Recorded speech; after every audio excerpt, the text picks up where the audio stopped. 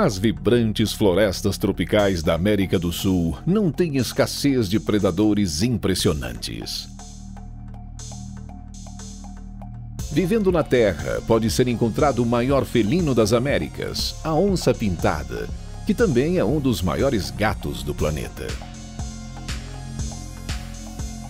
Outro animal grande que pode ser encontrado nesse habitat úmido é a sucuri uma cobra que é um dos animais mais assustadores. Nos rios, jacarés patrulham os cursos d'água, turvos, e as venenosas jararacas esperam enroladas sob a camada de folhas. Mas um dos caçadores mais proeficientes e mortíferos da região não vive nem na terra e nem na água ela vive nas mais altas árvores. Ela é a águia mais poderosa do mundo. A arpia. Ela representa um símbolo de poder e beleza com sua grande envergadura. Entre as águias, a arpia é inconfundível.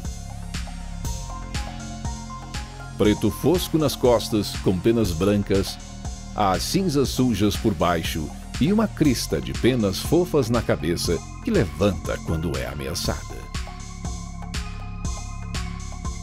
Desde o sul do México, passando pela América Central até a Amazônia, a arpia é dotada de uma bateria de adaptações que a torna um dos caçadores mais impressionantes da natureza. Talvez a ferramenta de morte menos sutil da arpia sejam suas garras.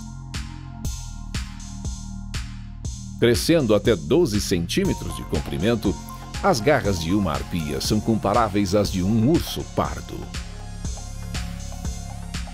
A maior parte da dieta da águia arpia consiste em preguiças e macacos grandes. Ela é o terror dos macacos que nem percebem de onde vem o ataque mortal.